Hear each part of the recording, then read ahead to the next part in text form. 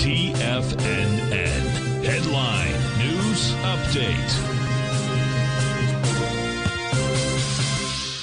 Welcome, folks. This is Jacob Shoup with the 4 p.m. stock market update. For those paying attention.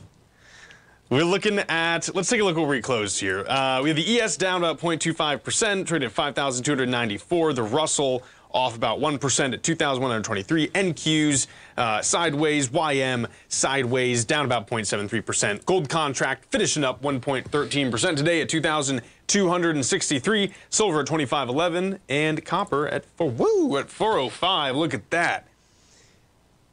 You had, uh, I think, J.P. Morgan come out and had a price target for gold at 2,500, which is solid.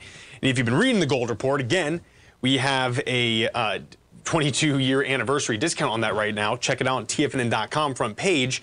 Um, that is actually uh, pretty spot on to what Tom said. It's it's unreal, right? So you get that level of analysis uh, right here at TFNN.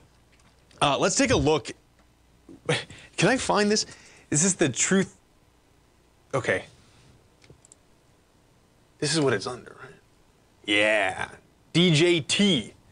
So down about 21.72% today. I know Tom was talking about that a little bit on Thursday. Uh, shares of the Trump Media and Technology Group fell nearly 18% on Monday as the parent of Truth Social platform raised ongoing concern uh, due to strugglers, excuse me, struggles to meet its financial liabilities just day after the thing went public. Wow. Uh, the company posted a net loss of 58.2 million in the year ended December 2023, compared with a net profit of 50.5 million a year earlier. Uh, revenue was 4.13 million last year, up from 1.47. Anyways, pretty uh, pretty insane. And there's just been so much news on that today, so I'm sure you all have kind of read about that ad nauseum. But I just wanted to bring it up because I thought that was pretty fascinating.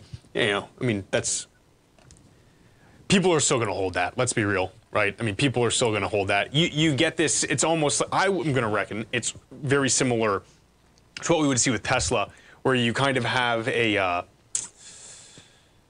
people invest in Tesla because of the personality of Elon Musk, uh, and I think people are investing in DJT are investing it because of the personality of Donald Trump. Let's just be real. Uh, I think that's kind of what we're going to see shake out. Doesn't mean, uh, you know, we're going to see it do well, but It'll be cool to watch. Folks, thank you so much for joining me. We have Tommy on tomorrow at 9 a.m. for the morning market kickoff. Then we have Basil right after that. Steve Rhodes, Larry Pesavento, and then your man, Tom O'Brien, will be on at 3 p.m. Eastern. Have a great rest of your day.